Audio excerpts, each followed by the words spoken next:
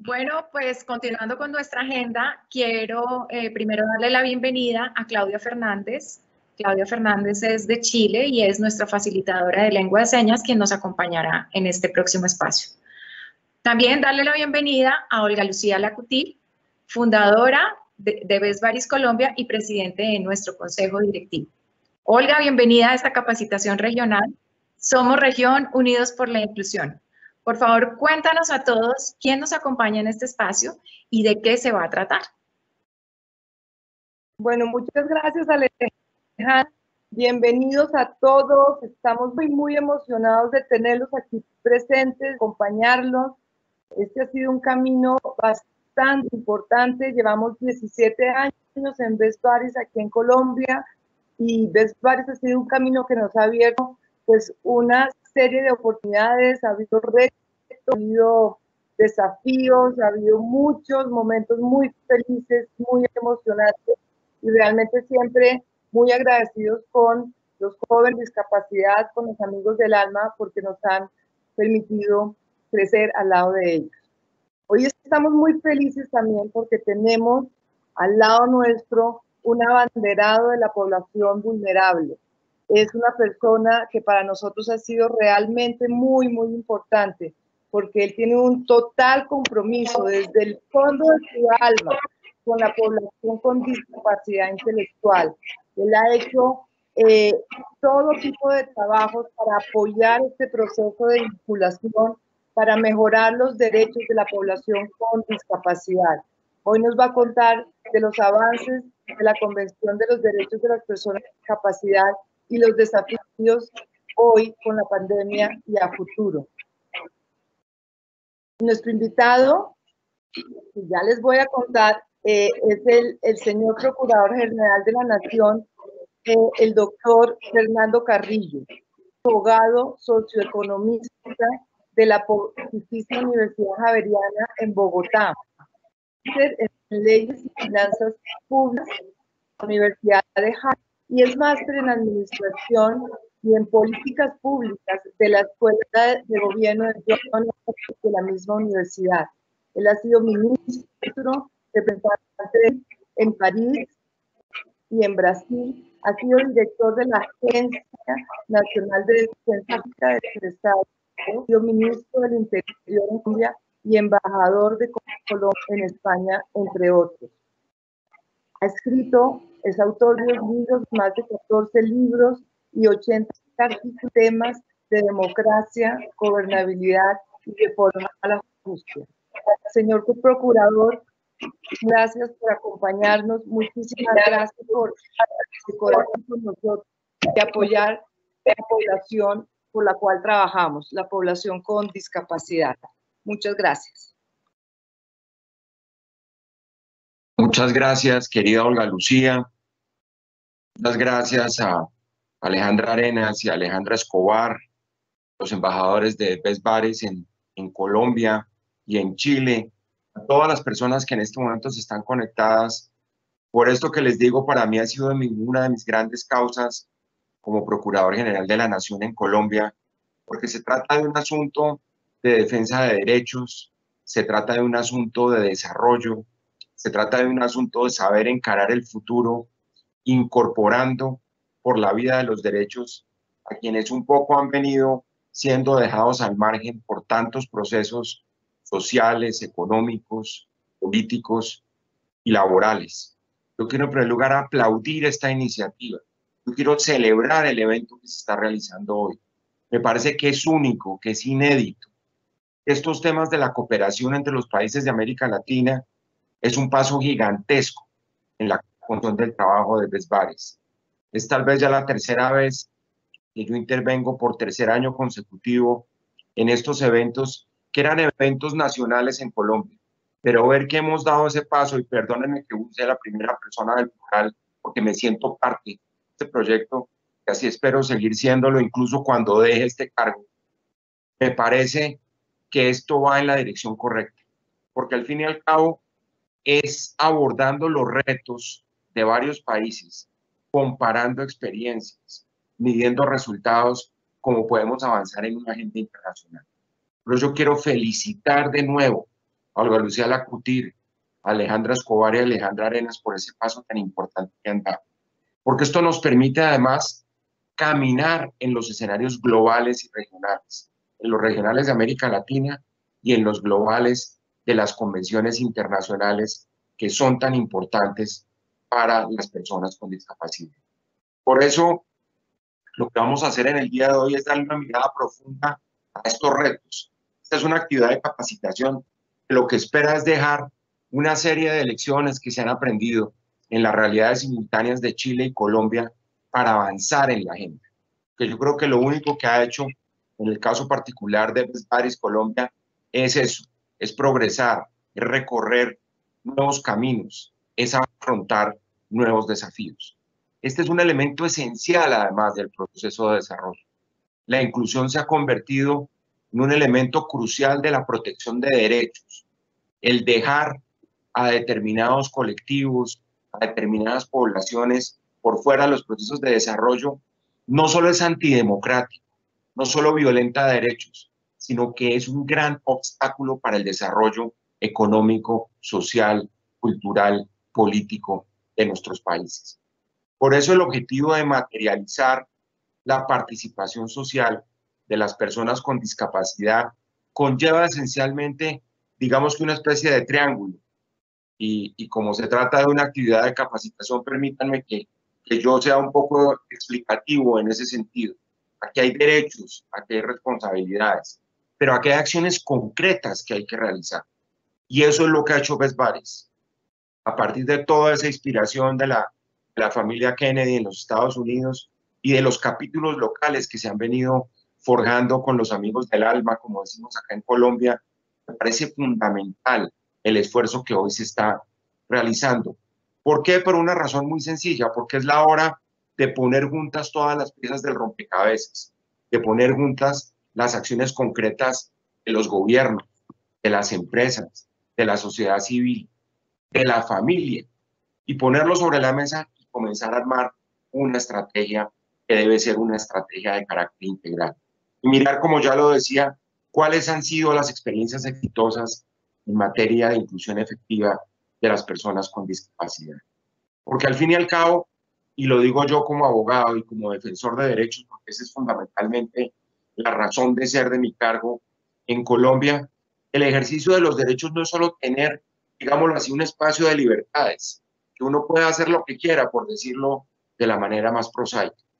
Es derribar las barreras que existen para el ejercicio de los derechos. Yo creo que esa ha sido concretamente la filosofía de Best Buddies desde su primera actividad.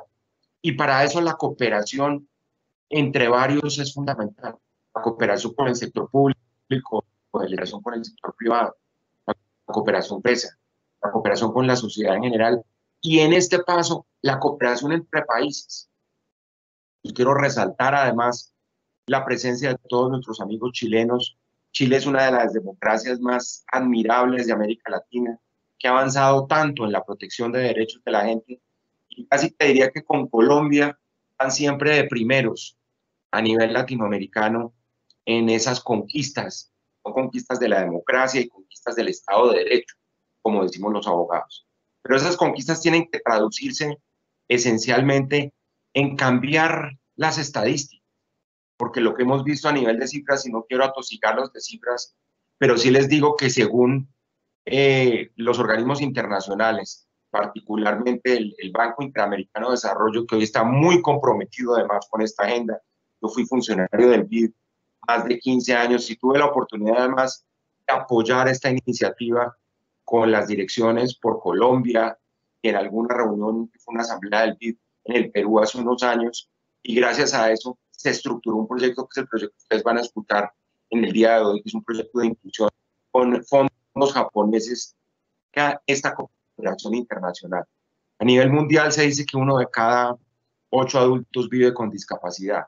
Es decir, en el mundo más de mil millones de personas. Y en Latinoamérica y el Caribe, las personas con discapacidad representan el 13% de la población. Eso lo dice el Banco Interamericano de Desarrollo. Y de ahí las decisiones que ha tomado e incorporar a todos estos eh, colectivos a todas estas personas, jóvenes y personas con discapacidad en los procesos del desarrollo.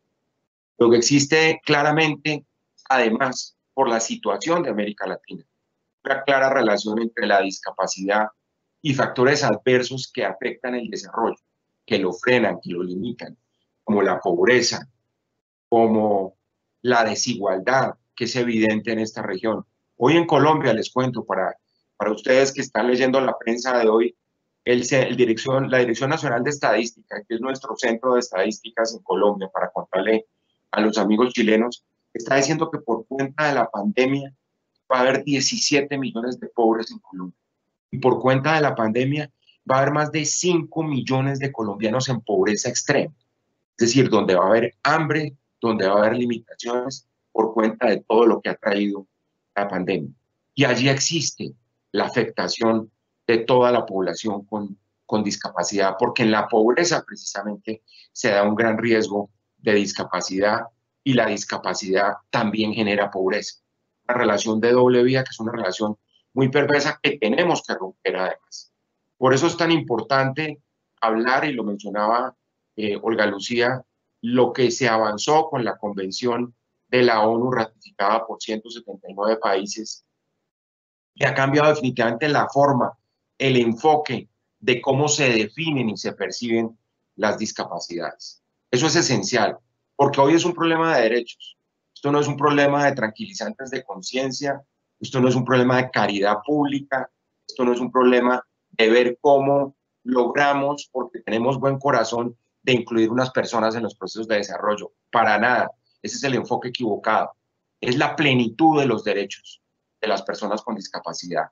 Es el mundo de la justicia, porque al fin y al cabo, cuando se cumplen los derechos hay justicia. Todos tenemos una concepción de la justicia y la concepción de la justicia tiene que ver con el ejercicio de los derechos de los derechos humanos, porque estamos hablando además de lo más sagrado, lo que dio lugar además a la creación de una organización como Naciones Unidas, que fue la Declaración Universal de los Derechos del Hombre que es un tema de dignidad humana, que es un tema de donde sale la democracia, de donde sale toda la racionalidad del comportamiento de los estados.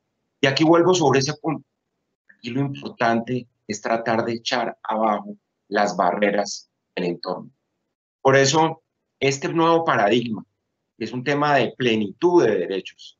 Es una meta para los gobiernos, es una meta para el sector privado, es una meta para la sociedad y es eliminar esas barreras. Y lo que se va a hacer en esta capacitación es precisamente analizar cuáles son las respuestas efectivas para la protección de los derechos de esta población. Ese concepto de incluir, de inclusión, es un concepto esencial en este momento para una democracia y para un proceso de desarrollo. No se concibe ni la democracia ni el desarrollo sin la inclusión de derechos. Muchos, muchos dicen que el desarrollo es un problema de derechos y los problemas de derechos son problemas de justicia dentro de una sociedad. Es tan importante tener esa noción, como dicen los expertos, multidimensional, es decir, que cubre varios aspectos, que se refiere a múltiples expresiones, a lo social, a lo económico, a lo laboral, que es lo que se va a abordar acá, a lo educativo, que tiene esa gran incidencia sobre lo laboral. Y por eso algunos países de la región latinoamericana han creado redes nacionales de empresas discapacidad, que yo estoy seguro que es lo que se va a discutir durante esta capacitación. Chile lo tiene, Brasil lo tiene, Costa Rica, México y Perú. En Colombia entiendo que esfuerzos en esa misma dirección. Y hay varios organismos internacionales, uno de ellos de origen eh, iberoamericano, cuya sede está en Madrid, que es la Organización Iberoamericana de la Seguridad Social, que creó una red iberoamericana de empresas inclusivas. Es decir, hoy en día esto no son simplemente problemas de, de conciencia, de que yo tengo que hacer esto, no, es que además me deja utilidades el tener una política de inclusión dentro del funcionamiento de una empresa. Está, por ejemplo, documentado, lo dice la propia Organización Internacional del Trabajo, que las pérdidas económicas derivadas de lo contrario de la que es la exclusión, dejan entre el 3 y el 7% del Producto Interno Bruto de la economía. Es decir, se está perdiendo del 3 al 7% del Producto Interno Bruto por cuenta de la exclusión, lo que lleva necesariamente a demostrar que además de todo, de que es democrático, de que está en el proceso de desarrollo, también le deja utilidades a las empresas. Y ahí la necesidad de dar ese debate, de involucrar cada vez más y estoy hablando de la empresa privada y de la empresa pública, que es el Estado. Me parece que ese elemento de inclusión de las personas con discapacidad en la empresa es un elemento crucial y es algo de lo que vamos a discutir precisamente a lo largo de estas jornadas de capacitación. Colombia, por ejemplo, para hablar de nuestro caso, ha realizado una cantidad de importantes esfuerzos legislativos y de, política pública para la inclusión laboral de las personas con discapacidad.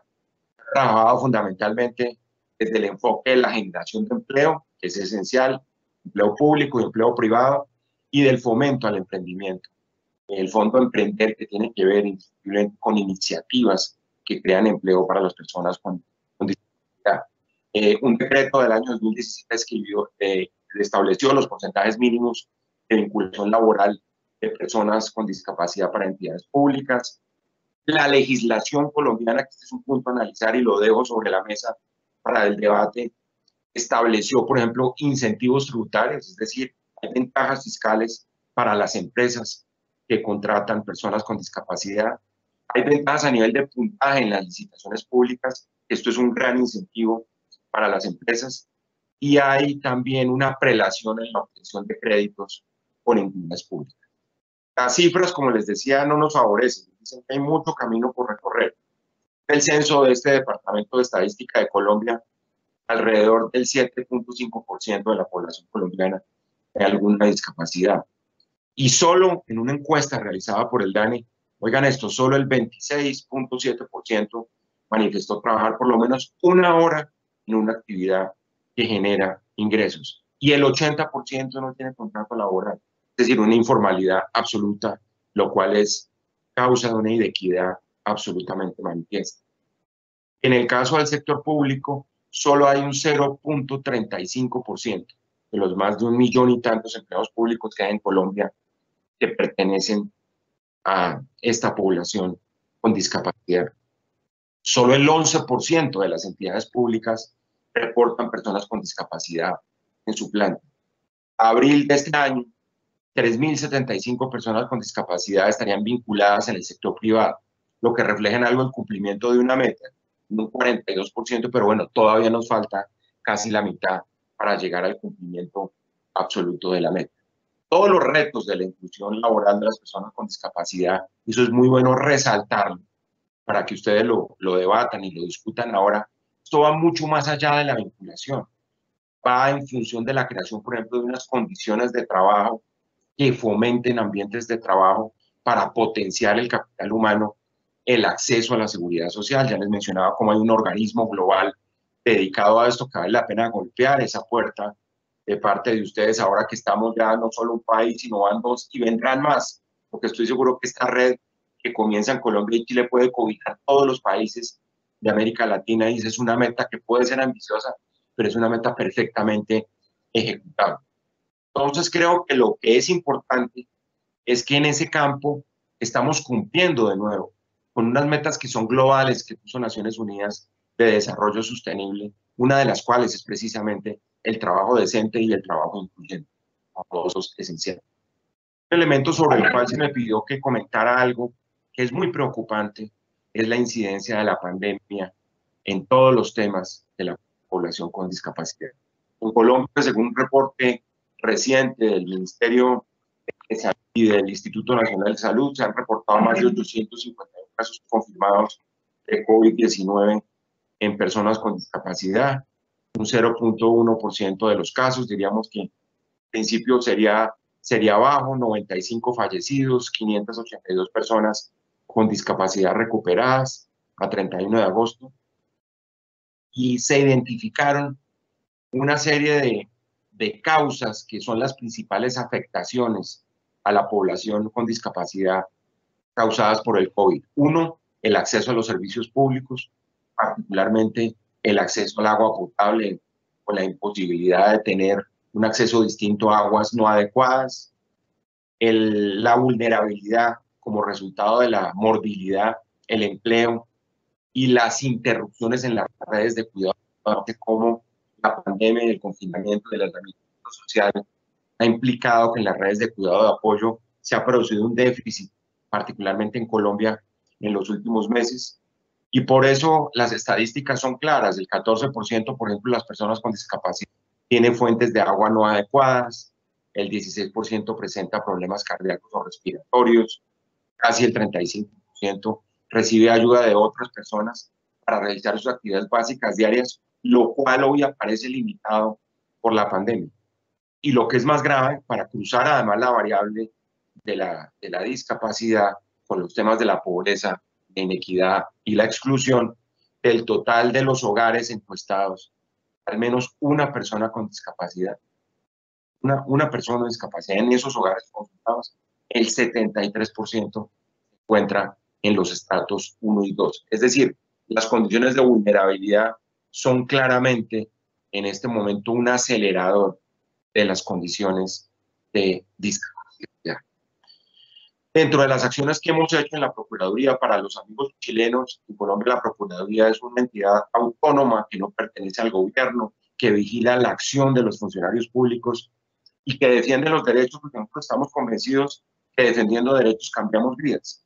Lo que hemos hecho en esta institución en los tres años y, diez meses que yo llevo al frente es tratar de acercar esta institución a la ciudadanía y defender determinados grupos de población que han estado marginados de los procesos del desarrollo y tener como premisa fundamental, como lo he repetido ya varias veces acá, que esto es un asunto de derechos, de plenitud de derechos, que es la primera obligación del Estado, que es lo más importante que consagra nuestras constituciones.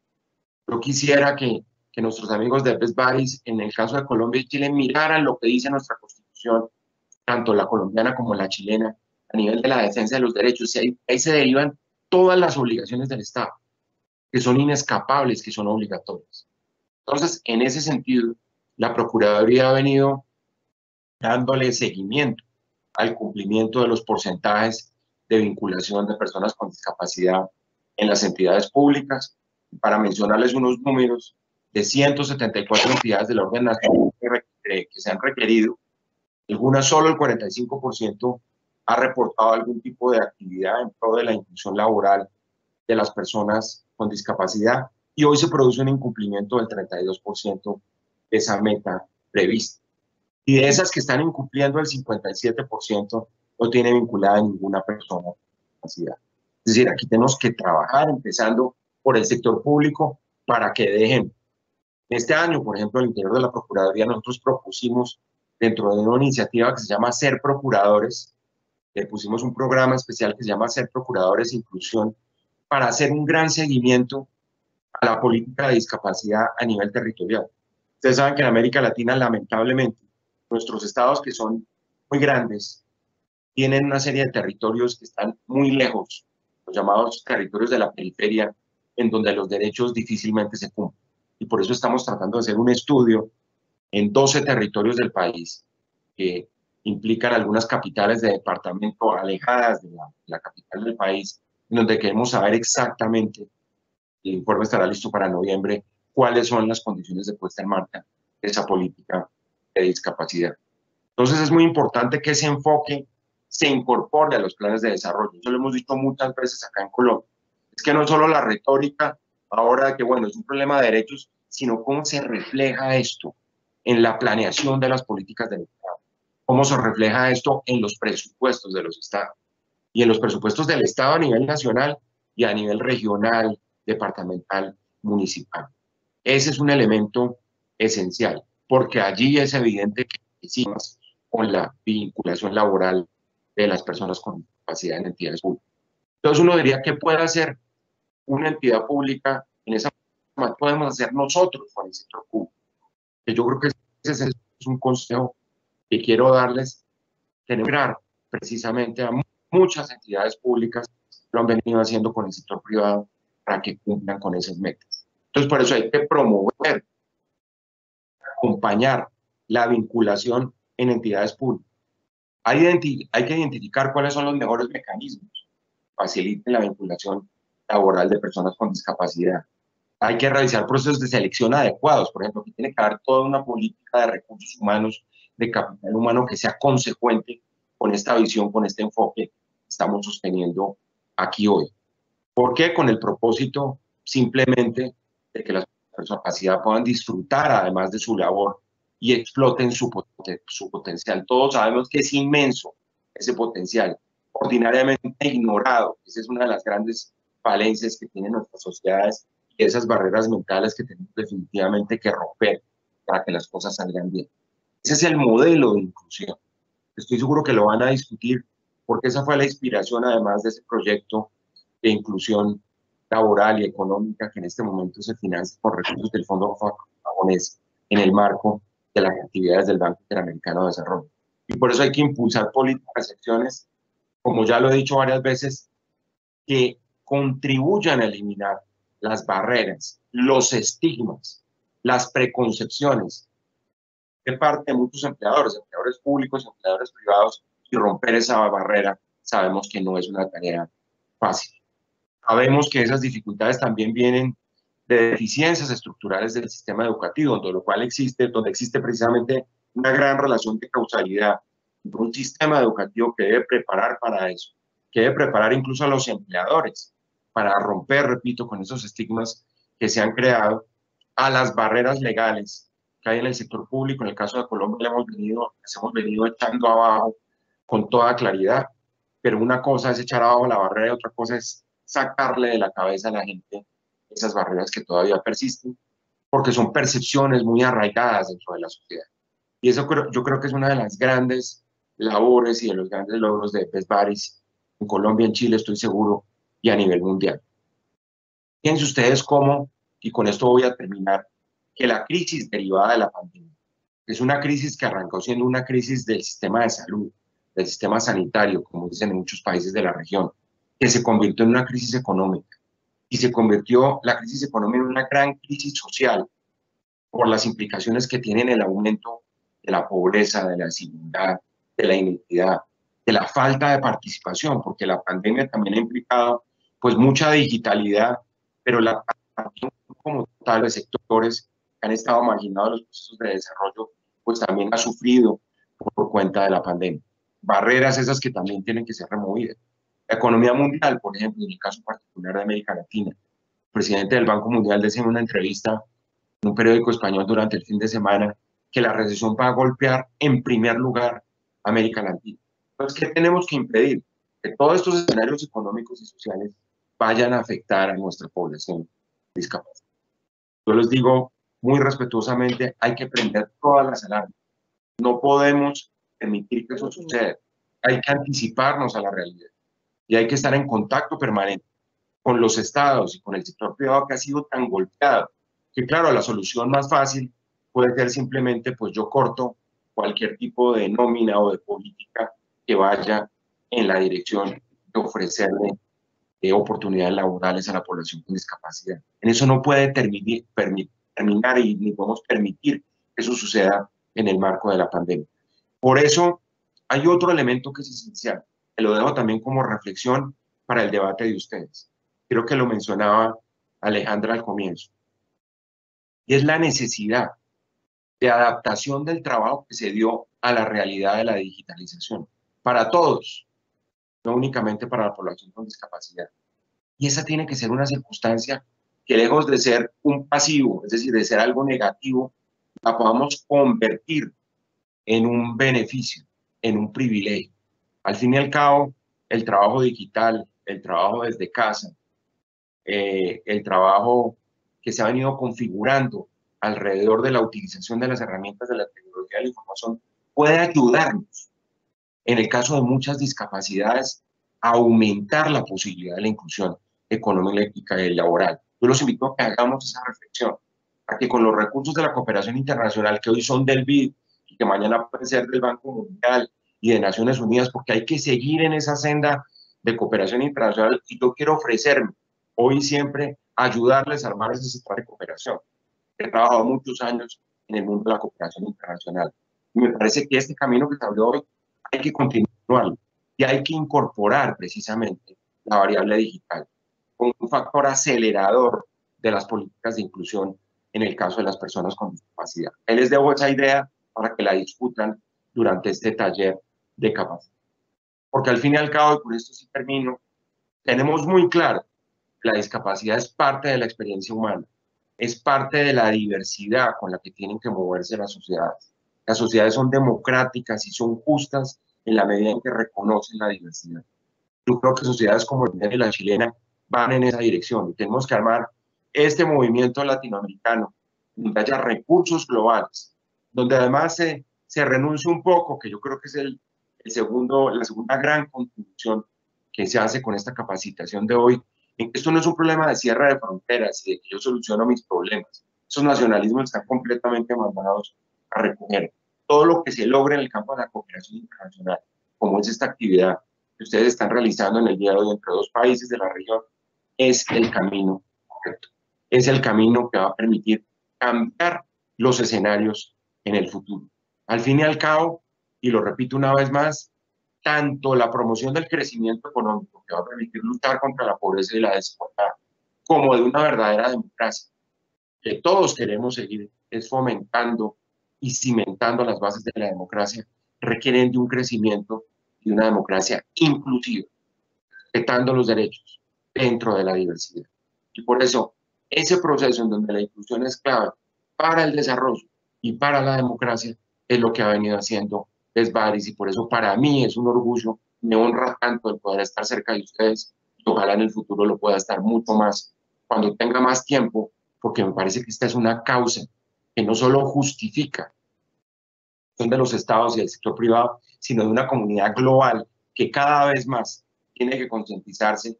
Esto es un problema global y que requiere soluciones globales.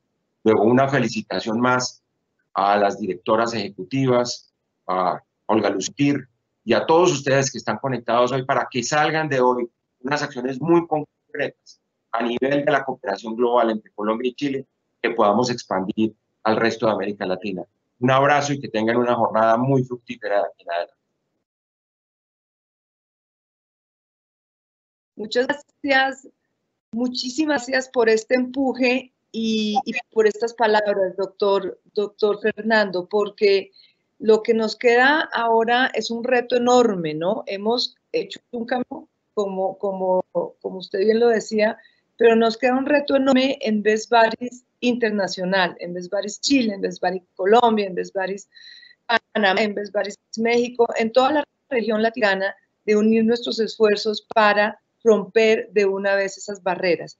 Me encanta, eh, me encanta ese enfoque de, ese rompimiento de barreras porque implica que unamos que trabajemos con nuestros voluntarios, que trabajemos con los amigos del alma de aquí y de allá, con las familias, con las instituciones, porque juntos podemos mejorar ese camino y seguir rompiendo esas barreras. Eh, me parece también muy importante el trabajo de cooperación internacional, que, que nos atrae a es entender que no vivimos solos, que no trabajamos solos, que tenemos que ser sólidos y que a través de esa solidaridad podemos avanzar para a, vulnerable. Así que una vez, una vez eh, hemos finalizado esta primera este encuentro de dos países, eh, seguramente nos vamos a sentar con Alejandra Arenas y con Alejandra Chile y ojalá con las directoras de las organizaciones de Best Buddies en, en Latinoamérica para que eh, sigamos trabajando ese camino que, que, usted nos está diciendo tenemos que seguir haciendo y juntos rompiendo barreras. Me parece que ese va a ser el reto y pronto vamos a tocar la puerta para, para que nos siga acompañando en otros espacios.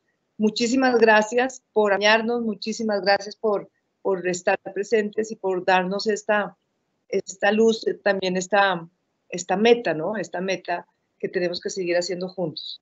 Muchas gracias. Con mucho gusto, apreciado Olga Lucía. Quedo absolutamente disponible para seguir adelante, sobre todo golpeando esas puertas internacionales, que repito, me parece que es el camino que ustedes han iniciado hoy con mucha inteligencia y con la convicción y la energía y, la alegría además que ha caracterizado siempre a Betbaris. Así será.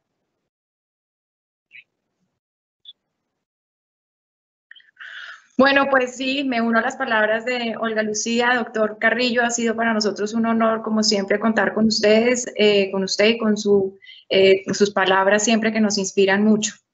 Quiero eh, recordarles a todos los que se conectan que cada vez que finalice un espacio, ese link no nos va a servir o no nos va a llevar a la charla siguiente.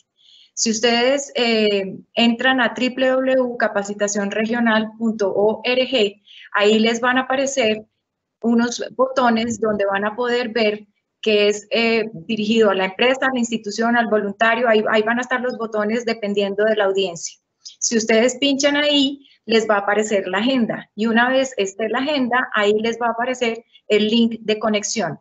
Cada link de conexión se vence una vez eh, acabe la charla, es decir, que se tienen que desconectar de ese link para conectarse al siguiente. Bueno, sé que eh, estamos teniendo un poquito como inconvenientes en esos cambios, así que por favor ingresen a www.capacitacionregional.org.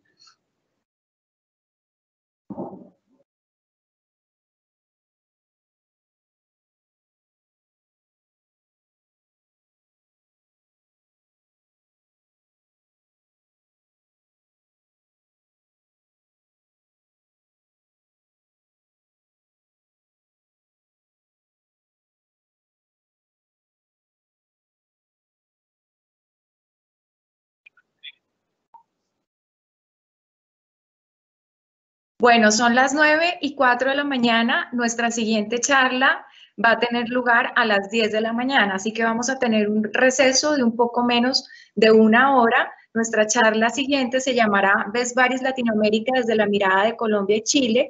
Compartiré ese espacio con mi compañera Alejandra Escobar, directora ejecutiva de Best Chile. Así que, por favor, no olviden ingresar al link de conexión de la charla de las 10 de la mañana, Best Baris Latinoamérica desde la mirada de Colombia y Chile. Tenemos diferencia de horario con Chile de dos horas, así que serán las 12 del mediodía, hora, hora chilena. Nos vemos entonces, los espero a todos.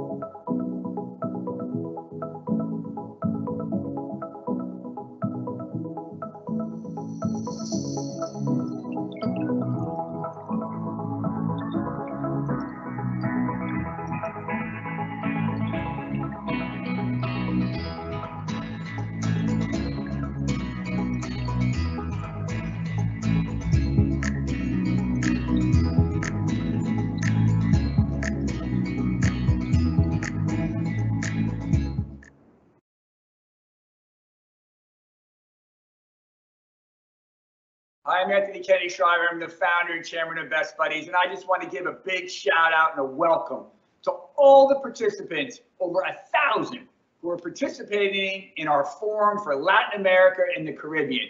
Wow, I can't believe how many people are joining us to learn about Best Buddies, to be trained about Best Buddies, to get excited about Best Buddies, all in the spirit of inclusion, all in the spirit of supporting people with special abilities.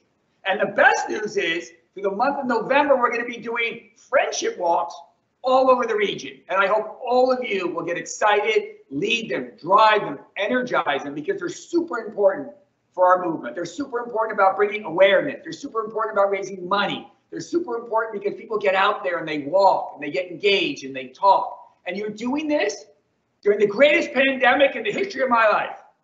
You're giving your time, your energy, and you're getting trained during this pandemic.